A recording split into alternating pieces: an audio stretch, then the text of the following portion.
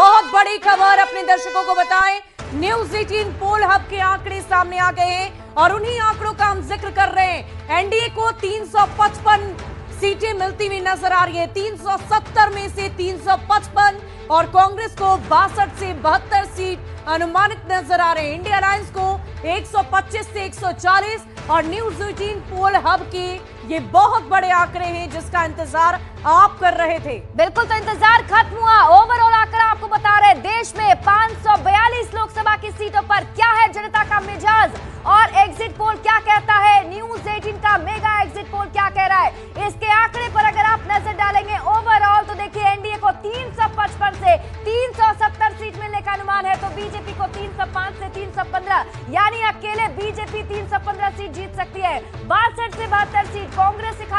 जाती हुई नज़र आ रही है। इंडिया अलायंस की बात करें 125 से 140 सीटें इंडिया अलायंस को मिल सकती है। यानी कि 370 का आंकड़ा पहुँच सकता है एनडीए का। यानी कि जो एनडीए अलायंस है, वो 370 सीटें जीत सकता है। न्यूज़ 18 का मेगा एग्जिट पोल यही कह रहा है शुभी। वाकई, और ये आंकड़े जो लगातार हम आप तक पहुँचा रहे हैं, इसे देखकर आप भी समझ सकते हैं कि भारत की जनता का क्या मिजाज रहा और 355 से लेकर 370 सीटें और बीजेपी की अकेले हम बात करें, हालाँकि 400 पार की गारंटी बार बार प्रधानमंत्री ले रहे थे, लेकिन एग्जैक्ट पोल में वैसा एग्जैक्ट आंकड़ा नज़र अभी नहीं आ रहा है। लेकिन 4 जून का इंतज़ार हम सभी को है। उससे पहले ही अनुमानित आंकड़े, जो बहुत ही विशेष तरीके से हमने लिए हैं। वो आंकड़े आपको दिखा रहे हैं। कांग्रेस को बासठ से बहत्तर सीटों का अनुमान, इंडिया अलायंस को 125 से 140 सीटों का अनुमान, और साथ ही साथ न्यूज़ 18 पोल हब की ये बहुत ही बड़े आंकड़े जो इस वक्त आपकी टीवी स्क्रीन पर है 355 से 370 और बीजेपी की बात करने तो सिर्फ़ अकेले बीजेपी को 305 से लेकर 315 सीटें मिलने के अनुमान नज़र आ रहे हैं। बिल्कुल तो इसी का इंतज़ार किया जा रहा था। फाइनल आंकड़े क्या कहते हैं? कई सारे राज्य में एनडीए, यानी कि बीजेपी जहाँ तक क्लीन स्वीप करती हुई नज़र आ रही है एग्जिट पोल के मुताबिक। तो वहीं पर कई सारे जगहों पर, कई सारे राज्यों में जो सीटें हैं, वो बढ़ती हुई नज़र आ रही हैं। और वो आंकड़ा जो है, ये आपके टीवी स्क्रीन पर हम आपको दिखा रहे हैं। जिसमें हम आपको एक बार फिर से बता दें न्यूज़ 18 पोल हब के मुताबिक एनडीए को 355 से 370 सीटों का अनुमान जताया जा रहा है।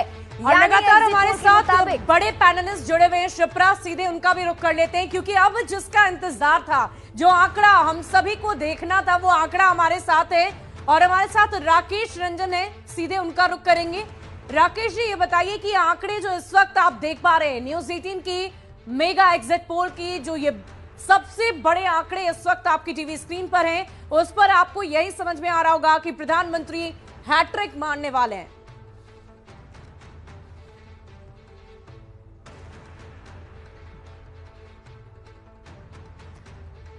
जी राकेश जी। जी मेरे से ये प्रश्न है? जी जी आपसे। जी जी मेरा नाम राकेश सिन्हा है।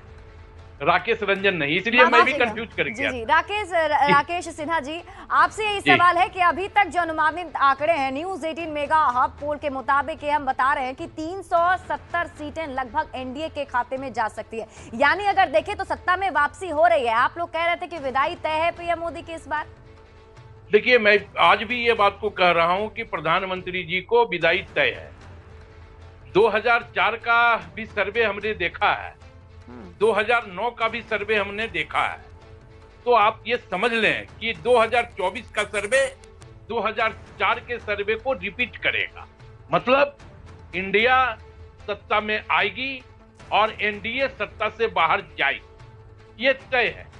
क्योंकि जो, क्योंकि इस राज्य में आपने दिखाया है और हमने देखा है कि जो आपने आंकड़े बताए हैं खास करके मैं झारखंड की बात कर रहा हूँ। दस से बारह सीट भारतीय जनता पार्टी का। तो आज मैं आपके चैनल पे ये दावे के साथ कर सकता हूँ कि आप लिख लो।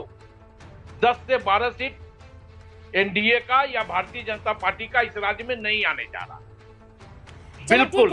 आपके आपके दावे भी हैं और हालाँकि आप लोग ये पहले से दावा भी कर रहे हैं और आज भी बैठक के बाद मल्लिकार्जुन खड़गे ने भी कहा है कि दो सौ पंचानवे से लगभग 300 सीटें वो जीतने वाले हैं। अब कितना दम है ये तो 4 जून को पता चलेगा, लेकिन इस पर हम रिएक्शन ले लेते हैं बहुत जल्दी से। एक बार फिर से रुक कर लेते हैं प्रेम रंजन पटेल जी हमारे साथ जुड़े हुए हैं। प्रेम रंजन जी, आंकड़े देखकर खुश तो हैं आप, लेकिन 400 पार नहीं हो पा रहा है।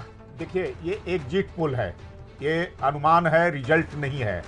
रिज़ल्ट चार तारीख को आएँगे। जब ईवीएम खुलेंगे तब तो तब पता चल जाएगा। जाएगा मतलब। जो हवाई हवाई यात्रा कर रहे हैं और अनुमान लगा रहे हैं कि इतनी सीटें एनडीए इंडिया गठबंधन को आ रहा है अरे खुलने तो दीजिए तब पता चलेगा कि कितनी सीटें आ रही है। पिछली बार भी 2019 में भी इसी प्रकार से ये लोग हवा में बातें कर रहे थे। और भारतीय जनता पार्टी की सरकार को जो है से पूरी तरह से समाप्त कर रहे थे कि नहीं आने वाली है किसी भी कीमत पर। लेकिन जब आक जब ईवीएम खुला और जब उससे वोट निकलने लगे तो अच्छा। इन लोगों के जो ऐसे होश गुम हो गए। फिर ईवीएम पर सवाल उठाने लगे। उसके बाद चुनाव आयोग पर सवाल उठाने लगे।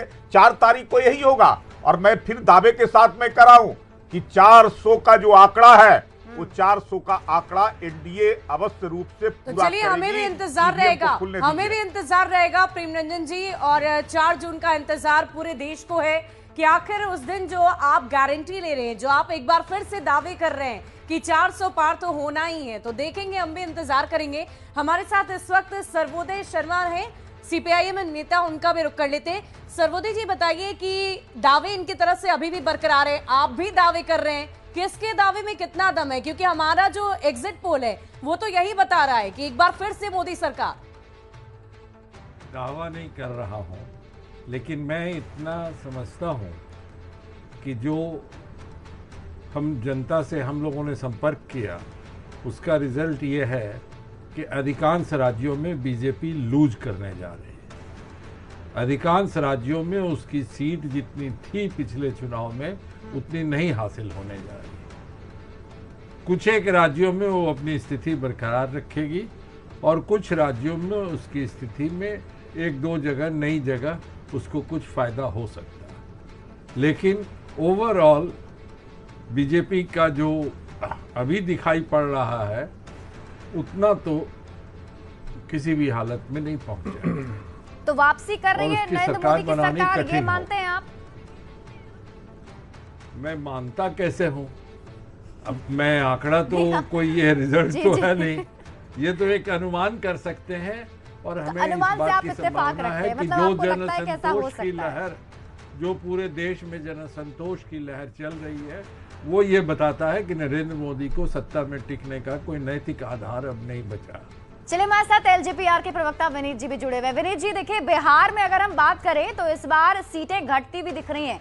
उनचालीस सीटें 2019 में थी, लेकिन इस बार का जो अनुमान है, वो 32 सीटें लगभग बता रहा है कि एनडीए अलायंस के पास जा सकता है। तो कुछ सीटों का नुकसान, ये अनुमान को किस तरीके से देख रहे हैं आप? देखिए, ऐसा कह के कि मोदी जी नहीं आ रहे हैं, ये जनादेश का अपमान है। और विपक्ष के लोग इस मामले में महारत हासिल किए हुए हैं। हम विगत कुछ दिनों से ये बात कहते आ रहे हैं कि भैया तीसरी बार ही मोदी जी आ रहे हैं और 400 पार जाएँगे हम लोग। जिसका पुष्टि जो है, आपके माध्यम से जनता ने कर दिया है। जौक एक शायर हैं, कहते हैं कि बजा कहे आलम तो बजा समझो और ज़ुबान खल को नकारा है खुदा समझो। मतलब जनता जनार्दन होती अपना जनादेश सुना चुकी है, उसके बाद से हालाँकि एग्जिट पोल है, लेकिन बड़े सिलेक्टिव नैरेटिव के साथ अभी झारखंड के कोई भाई बैठे हुए थे कह रहे थे कि 2004 में देख लीजिए 9 में देख लीजिए। अरे भैया 14 19 को क्यों छोड़ दिया? जब आप लोग का एग्जिट पोल बिल्कुल सटीक बैठा था। और एक बात जान लीजिए मैं पेशे से प्रोफेसर हूँ तो थोड़ा सा मार्केटिंग रिसर्च का मेरा बैकग्राउंड है। एक सैंपलिंग एरर होता है जो कि पाँच प्रतिशत एक से पाँच प्रतिशत हम लेके चलते हैं। नहीं कई बार तो आपने- सर, मुझे बोल लेने दीजिए, सर। के सर्वे सर मैंने आपके आपके समय नहीं बोला था सर। जिसके पास कोई जनाधार नहीं है सर थोड़ा सुन ले। भाई, जब हमारी पार्टी, जब हम बात कर रहे हैं तो। तो हम तो ये मान रहे हैं कि 370 आप जो दिखा रही हैं, इसमें पाँच प्रतिशत की बढ़ोतरी और होने वाली है।